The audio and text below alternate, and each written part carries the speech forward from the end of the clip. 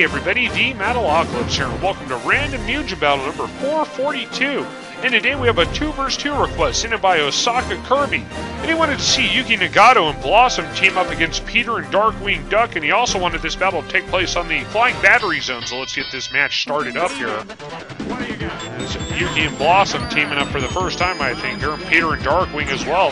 Blossom rushes in there, uppercuts Peter as Darkwing goes to work uh, Yuki trying to finish off Peter now as uh, Blossom freezes Darkwing Duck in place here. Nagato taking a little, Yuki I should say, taking a little bit of damage from Peter. Peter uh, getting spammed in the corner there by Yuki Nagato though. Blossom pulls Peter out of the corner. Darkwing Duck trying to fight back uses a spin uppercut attack. Down goes Peter.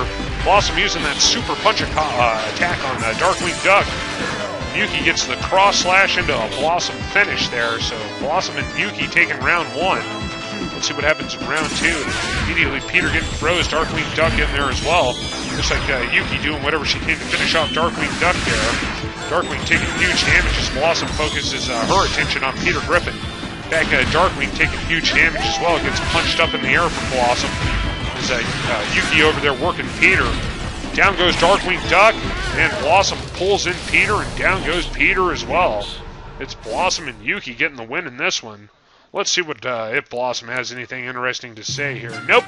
Well, that was a pretty intense battle, and I hope you enjoyed your request there, Osakakirby, and everybody else who watches this one as well. Stay tuned for Random Mugen Battle number 443.